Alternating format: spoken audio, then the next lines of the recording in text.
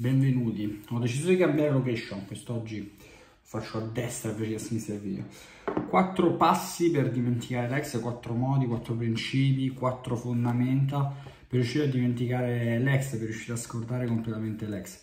Io sono Federico Picchianti e ricordo sempre di iscriverti al canale e che questo è il mio libro che ne trovi tanti altri come questo se cerchi sul, sulla barra ricerca di Amazon il mio nome e cognome. Ti ricordo sempre che in descrizione trovi anche i link per le mie consulenze private e per tutti gli altri servizi che ci sono. Ma veniamo a noi.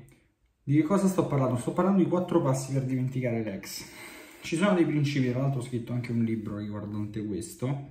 Il libro si chiama Sotterra Lex, lo trovi su Amazon, che praticamente ti dicono, ti danno delle linee guida che puoi rispettare, cioè delle linee guida che puoi usare proprio per riuscire a scordarti di quest'ex, nel senso puoi scordarti non vuoi dimenticarlo, ma più che altro vorresti elaborare il fatto che, abbia, che la tua relazione sia finita.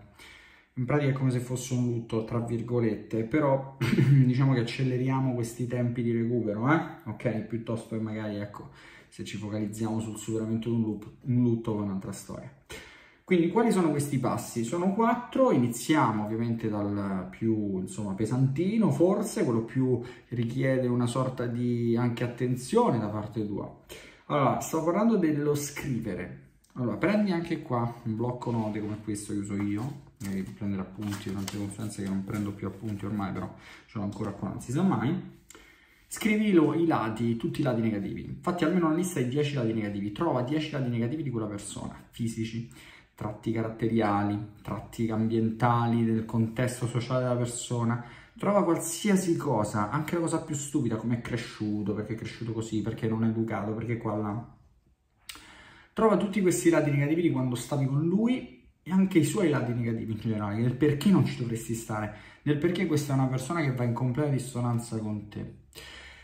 Fanno una decina, datti un limite, massimo 10 o almeno 10 e ricordati questa lista, mettitela da qualche parte che ti ricordi, non serve ci metti sopra il nome, lista negativa dell'ex, magari vede qualcuno, però mettila da qualche parte dove comunque la rivedi, magari nel portafoglio, nella borsa, quello che sia.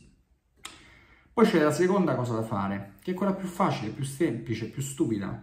Bloccalo dappertutto, almeno per un lasso di tempo da 0 a 10-12 mesi. Ok? Devi bloccarlo per 0-12 mesi. Dopo 12 mesi qualcosa di buono sicuramente avrai fatto, si spera nella gran parte dei casi, ma datti almeno un tempo di 12 mesi e poi rivedi se dopo 12 mesi ancora stai pensando a quella persona.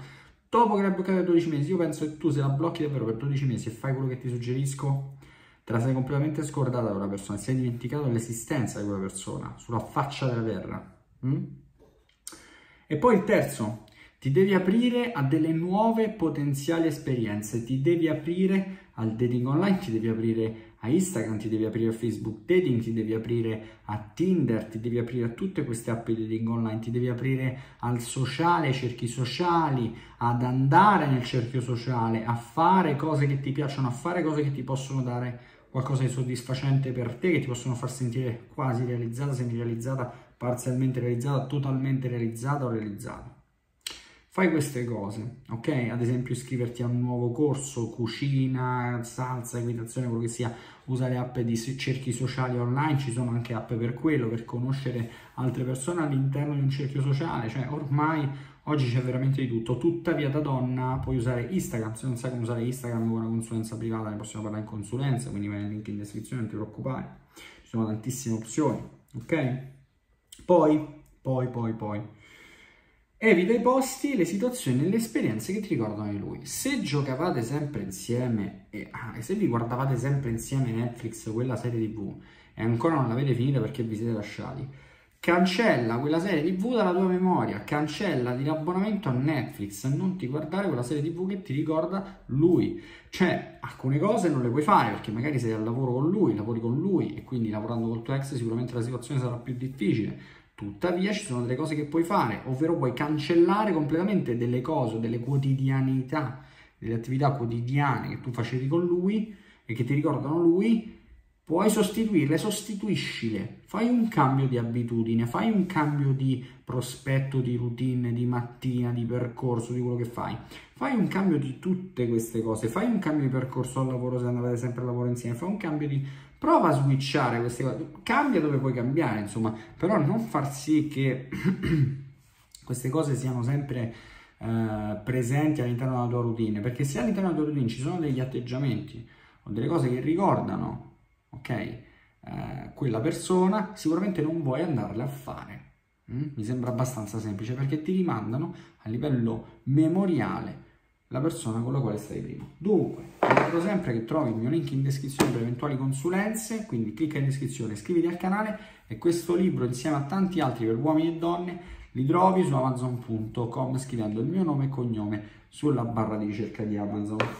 Noi ci sentiamo al prossimo.